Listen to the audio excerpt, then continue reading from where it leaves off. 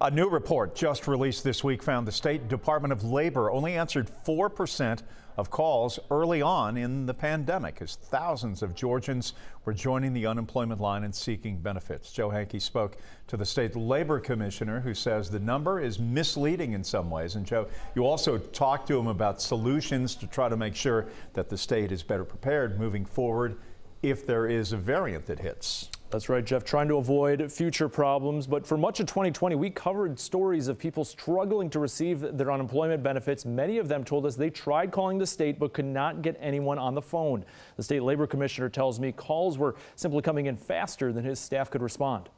This is not something that just happened in the state of Georgia.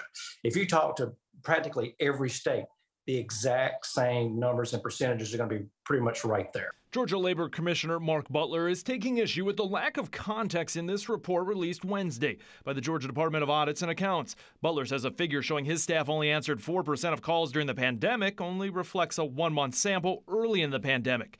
Prior to the pandemic, the state received around 100,000 calls per month.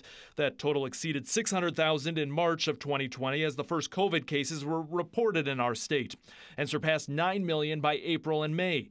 Butler says answering 4% of 9 million calls means his staff did answer more than 360,000 calls in April, or around 10 to 11,000 per day. It also does not include his staff's responses to emails and social media messages. The report also highlights payment delays. Butler says one major cause was the addition of federal benefits, which came with federal requirements calling for new verification and payment systems states had to build on the fly. It was a curveball that added more work for an already overworked department. He says his office has since provided provided feedback to the federal government for future scenarios. One of the things we've told them is uh, in the future, uh, let's try to do a better job of communicating with the policymakers in Washington before we run into something like this so we can have our input on the front end. You know, there's a lot of things in the CARES Act that were good, and there's a lot of things in the CARES Act that were not so good.